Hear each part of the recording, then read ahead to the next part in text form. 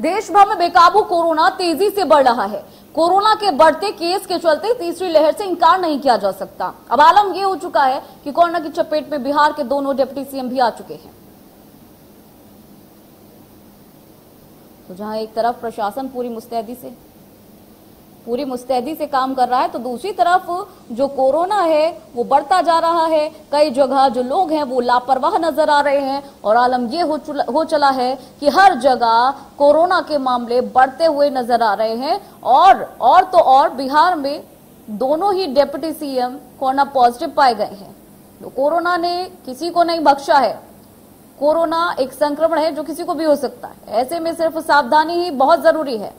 अब कोरोना बेकाबू हो चला है।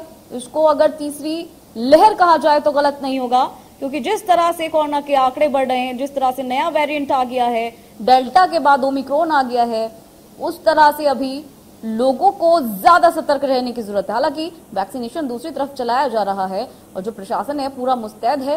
तैयारियाँ की गई है, अस्पतालों में तमाम जो मैनेजमेंट है, वो किया गया है। लेकिन फिर भी कोरोना अपने पैर पसार रहा है और उसका सबसे बड़ा कारण है लापरवाही। लापरवाही की वजह से ही ये कोरोना लगातार बढ़ रहा है।